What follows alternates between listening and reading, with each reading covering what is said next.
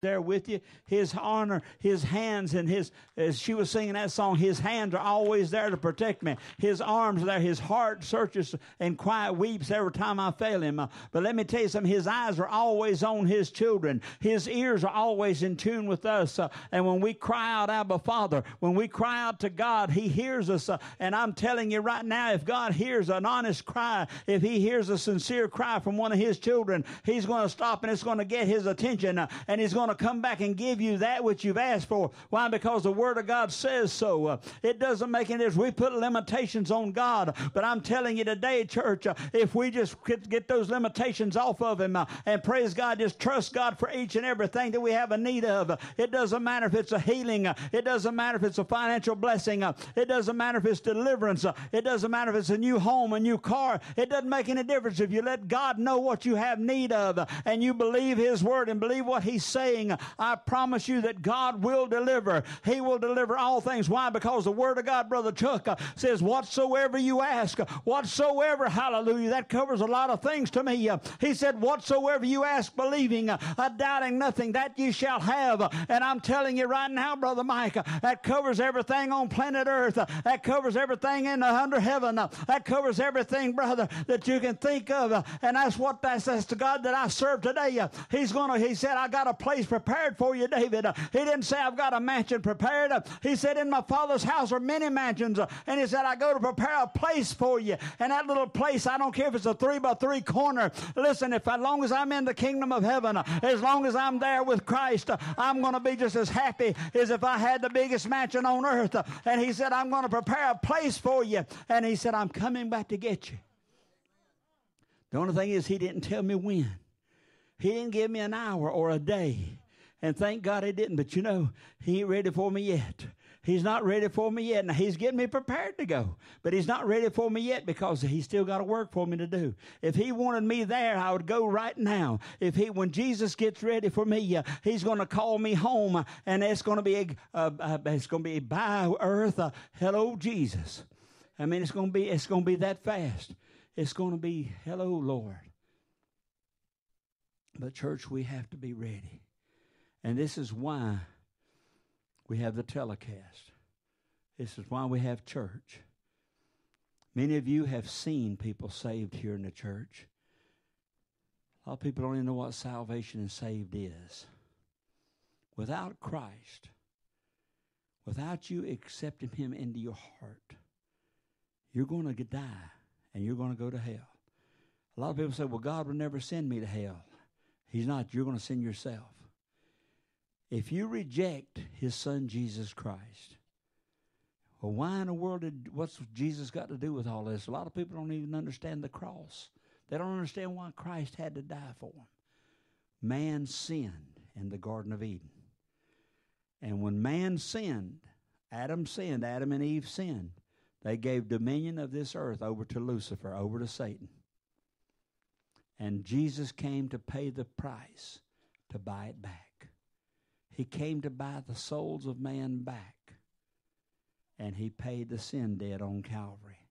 Man had sin in their natural flesh. We were born in sin. We were conceived in sin. And we lust after sin daily. Our flesh is nothing but sin. Our flesh is controlled by the devil. Your flesh has got you into all the trouble you've ever gotten into. The lust of the flesh got you there. And so the flesh is sin, but there's a spirit inside of us. There's a spirit inside of every person that's going to live forever. The soul of man shall never die. That soul is going to live either with Lucifer or with Christ. It's our decision. But God sent his only begotten Son, the only begotten Son that he's ever had, Jesus Christ, to come down to earth to walk in a sinful body, a sin flesh body, so that Jesus could see the temptations that man was going to have to go through. Jesus walked in a sin flesh body without sinning. He never gave in to the flesh. He was in a sin flesh body so that when he stumped his toe, it hurt. He could feel the pain. And when they beat him with the stripes, he could feel the pain. When the blood came out, he could feel the pain. When they punched the, the beat the thorns down on his flesh, he could feel the pain. When they drove the nails in his hands and his feet and pierced his side, he could feel the pain. And when good looking women walked by, the lust was there, but he never gave in to the lust. There's no scripture that says that Jesus never looked at a good looking woman. There's no scripture there. But he never lusted after a good looking woman. He never sinned. He never let lust enter his heart, into his heart. And you see, this is where he overcame flesh. He overcame the sins of flesh. He walked for over 30 years, 33 years, I think, altogether. He walked for over 30 years fighting the same temptations that you and I have. There's no temptation ever tempted man that Christ wasn't tempted by. But he didn't fail, fall into temptation. He never fell to flesh. He never fell God. He always served the Lord, his Father. And so this is why we have to have Christ. He died for you, he died for me. Now I'm talking to the sinners right now. Because I think this message is for somebody out there. You're watching television, you're sitting there with sin in your life. And you know right this moment that I'm talking to you, I'm speaking directly to you, and you know that if the death angel would come this moment and your heart would stop beating, you'd probably spend eternity in hell.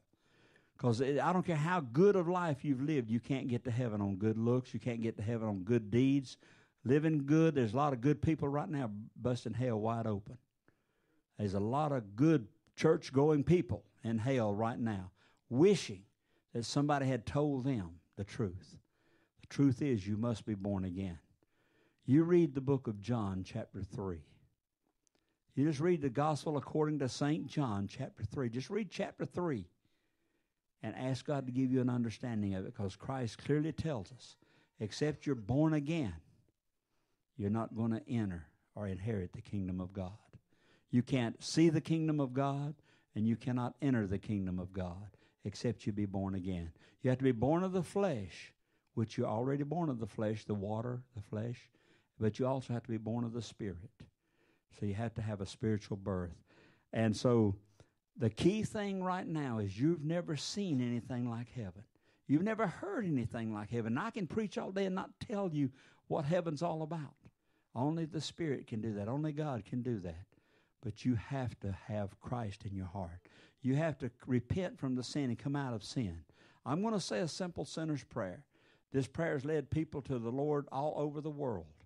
And if God's dealing with your heart, I want you to repeat this prayer with me, and He'll save your soul if you truly mean it. Father God, I come before you today. I have sin in my life, and I'm asking you, Father, to forgive my sins.